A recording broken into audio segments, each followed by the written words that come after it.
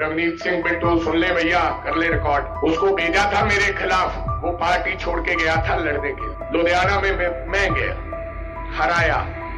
और आज वो कह रहा है कि राहुल गांधी तो आतंकवादी है। बिट्टू एक बच्चा था। इसके बावजूद राहुल गांधी ने इसको तीन बार एमपी बनाया।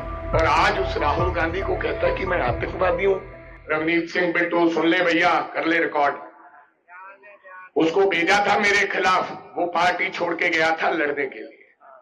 लुधियाना में मैं, गया हराया। और आज वो कह रहा है कि राहुल गांधी तो आतंकवादी है। शर्म नहीं चाहिए उस व्यक्ति को जिसको तीन बार मेंबर ऑफ़ पार्लियामेंट बनाया। बिट्टू एक बच्चा था गुरकीरत उससे काबिल था इसको कुछ नहीं आता था। इसके बावजूद राहुल गांधी ने इसको तीन बार एमपी बनाया। और आज उस राहुल गांधी को कहता है कि मैं आतंकवादी हूँ। बिट्टू जी, राहुल गांधी आपके कहने से आतंकवादी नहीं बनेगा। लेकिन आपकी मानसिकता, आपकी बुद्धि, आपके ज्ञान के बारे में देश के लोगों को चानन हो रहा है कि कितना आसान, फरामोश आदमी है। अपने आकाओं को खुश करने के लिए कुछ भी कह रहा है।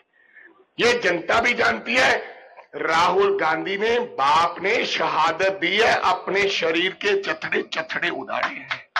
आप उसको आतंकवादी कहते हो। और वो व्यक्ति जिसने बाप के कातलों को भी माफ़ कर दिया है, अब उसको आतंकवादी कहोगे? आपको बहुत बहुत बधाई। अगर आपको लगता है कि राहुल गांधी को आतंकवादी बोल के आपका बीजेपी में कद बढ़ रहा है तो बोलिए, हमें कोई एतराज़ नहीं है। लेकिन ऐसी राजनीति अच्छी नहीं है।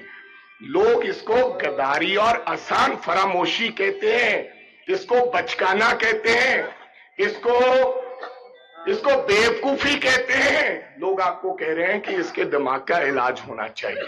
मैं इतना ही कहना चाहूँगा और उनके आकाओं को कहना चाहता हूँ कि अपने इस फरजंद जो नए मंत्री को हारे हुए को बनाया है, इसको जरा बुद्धिमान लड़के को मंद बुद्धि लड़के को जरा समझाने का काम करें धन्यवाद।